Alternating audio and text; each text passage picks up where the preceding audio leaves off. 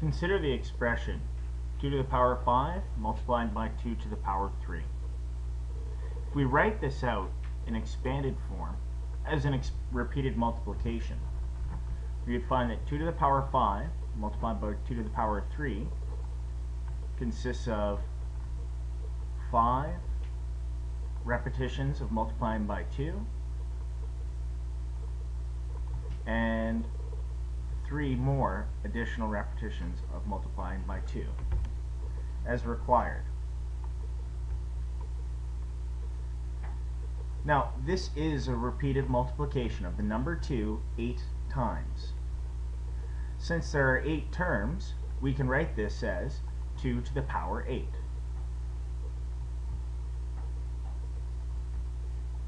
Remember, you simply count up the number of 2's. 1, 2, 3, 4, 5, 6, 7, 8, and that becomes the exponent.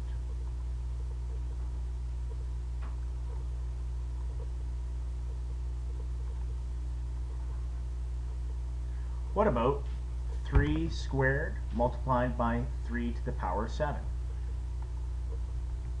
Let's write that as a repeated multiplication. So for the 3 squared, I have 3 times 3. And then 3 to the power 7, I'll have 3 multiplied by itself, a total of 7 times. Just bear with me a second while I write this out.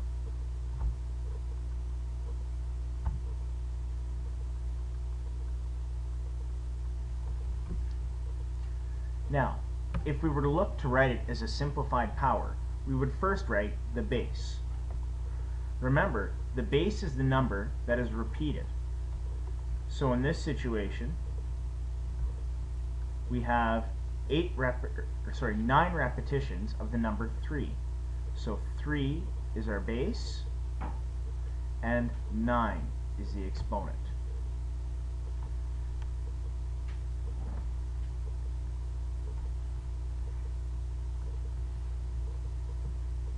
The rule to sum this up is as follows. When multiplying powers with the same base, we add the exponents. Here you'll notice that a to the power b times a to the power c involves the same base.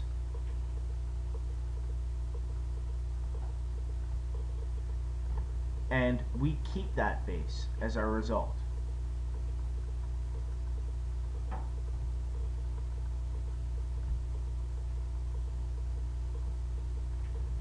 Then we simply take the exponents, b and c, and add them together. Let's see what that does in a couple of examples.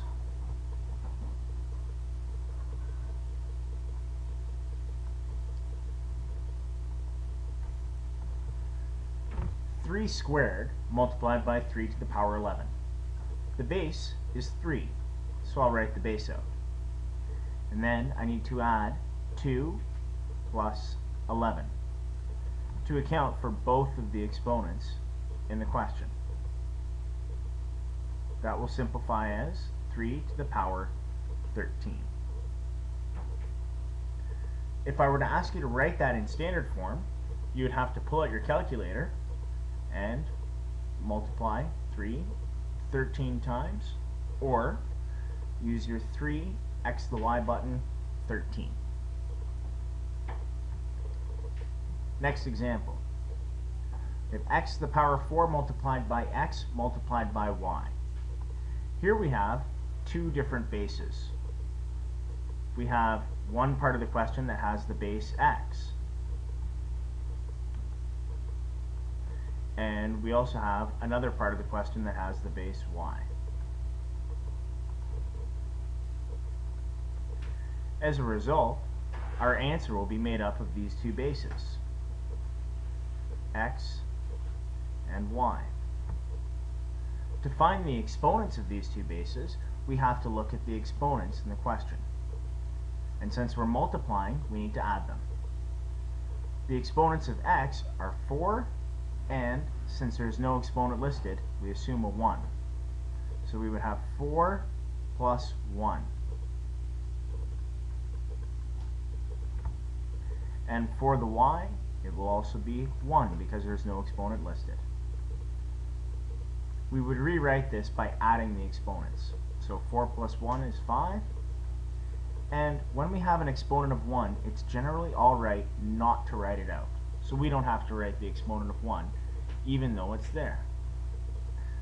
This expression, x to the power 5, y raised to the power 1, is the same as x to the power 5, y, without the exponent.